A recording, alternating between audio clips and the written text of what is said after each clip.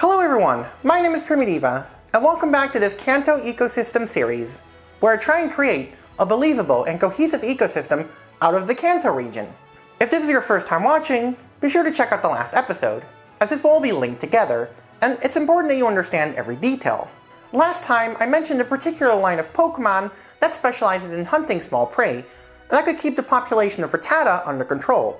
So, which Pokemon are they? Of course, it's the Pidgeot line, the famous bird Pokemon we all know and love. And these Pokemon are basically everywhere, but is that really a surprise? But unlike their name suggests, they aren't pigeons at all. No, in fact, they're more like birds of prey, like ospreys and eagles.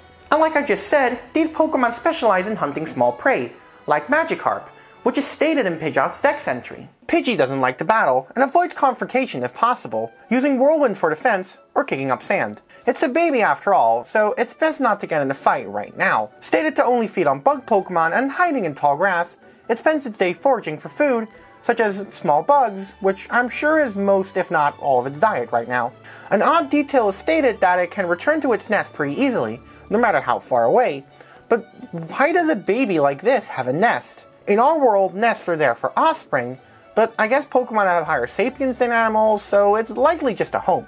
When it evolves into Pidgeotto, it also still has this nest, which it uses to carry prey to, like Exeggcute, which it can carry for over 96 kilometers back to its nest. Its diet very much expands, flying around all day long, attacking anything that comes into its territory, and looking for small Pokemon to eat, which it can spot easily with its outstanding vision. Pidgeot is eh, basically the same, just bigger and likely feeds on a bigger variety of smaller Pokemon, like Magikarp.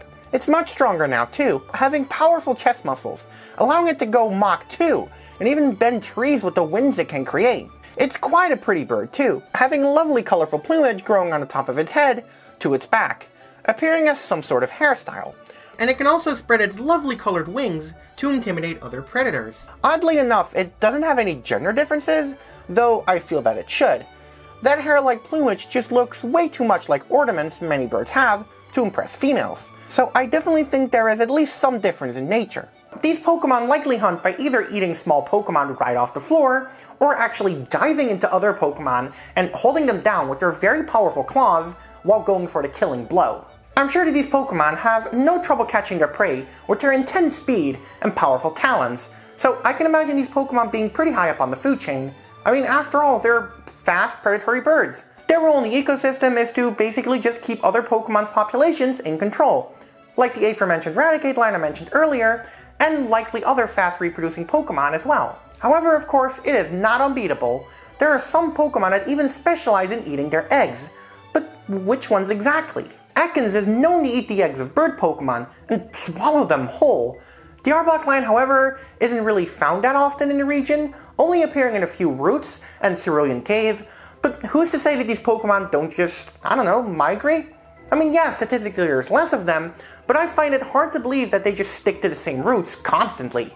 Ekans is the definition of an ambush predator, often found in grasslands, and sneaking through it without making any sound, and then striking its prey before swallowing it whole by detaching its jaw.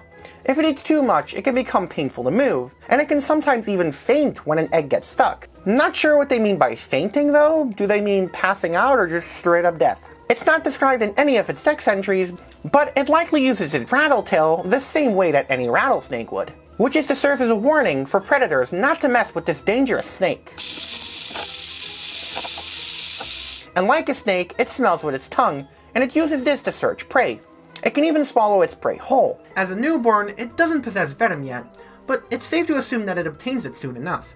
But its bite is still painful. Ekans curls itself into a spiral-like shape before sleeping. This allows it to quickly respond to others who could be a potential threat, allowing for a quick glare for self-defense. And naturally, the older it gets, the longer it grows. Which eventually leads us to Arbok, who is very much different when it comes to hunting prey than its baby form. It now confuses and scares the prey with the patterns on its chest. And then when they're frozen in fear, it constricts them to death. This pattern is also used for warding off other predators, by widening its chest and making screeching sounds by expelling air from its mouth. Arbok would likely also sneak around as well, but not totally rely on it like Ekans. One thing that's definitely odd though is that this Pokemon changes from being a rattlesnake to a cobra, and then also a cobra that constricts, which they aren't known to do and instead use their powerful venom. But Arbok seems to use both, so yay, double the Poke power, I guess. Capable of even flattening steel oil drums, I doubt any Pokemon could just easily take down this beast of a snake. Interestingly, this is one of the few Pokemon to actually show regional differences, stated to have over 20 different possible arrangements of patterns on its body. You know, the more I think about it, the odder it is that almost all Pokemon look entirely the same in all regions. So I'm glad they at least did something with Arbok, and this was even before the introduction of regional forms. I believe that these Pokemon specialize primarily in eating mammal and bird Pokemon, and sometimes even their own if they're not related, and that they hunt during the day. With Ekans basically feeding on bird Pokemon eggs, it makes sense that Arbok would, you know, double down on that and eat the actual Pokemon that lays those eggs. Though I doubt that this strategy would work on spiky Pokemon, like the Sandslash line, who are based on pangolins.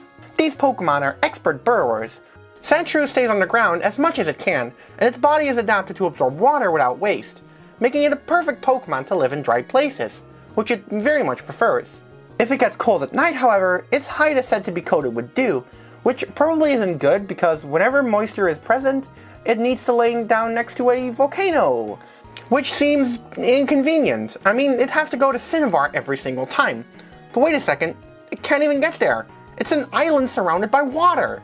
It only leaves the burrow to hunt and its prey are bug-type Pokemon, which it catches by digging holes, or by lunging out and dragging it down below with its sharp claws. It can also, of course, turn into a ball to defend itself, along with the sand around it against predators.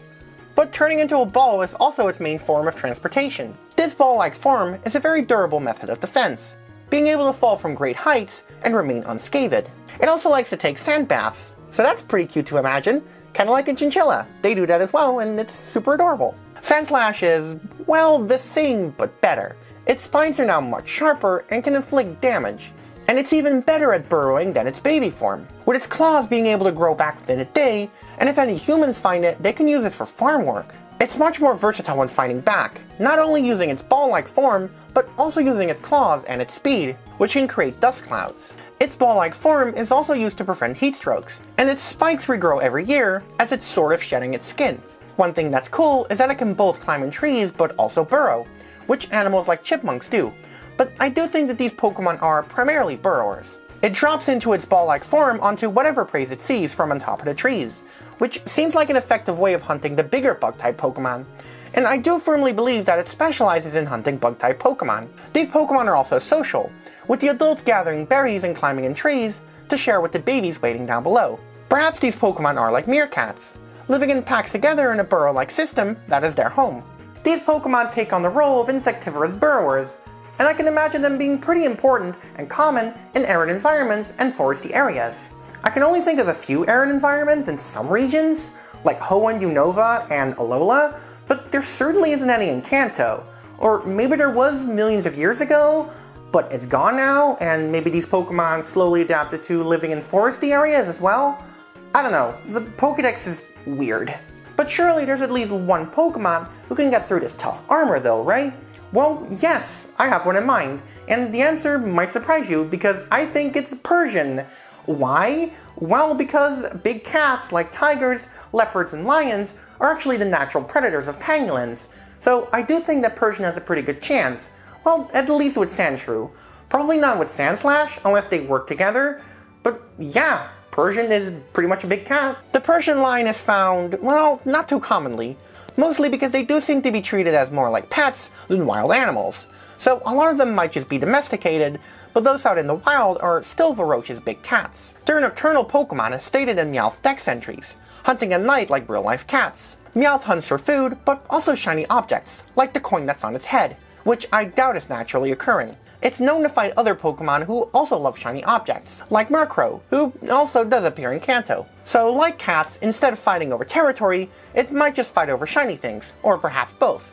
It's pretty much like a cat anyway, it only hunts at night, likely feeding on smaller bird and mammal Pokemon.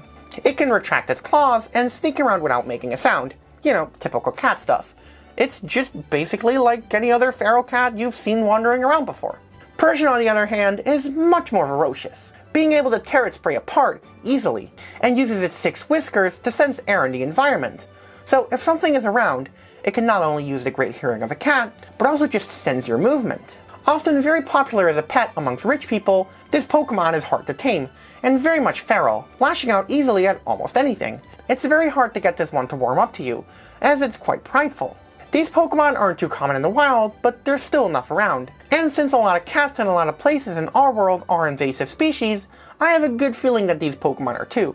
I'm sure that over time, the rich people who owned a lot of Persians may have gotten sick of them and just released them into the wild, without any concern for the ecosystem, because, you know, rich people suck.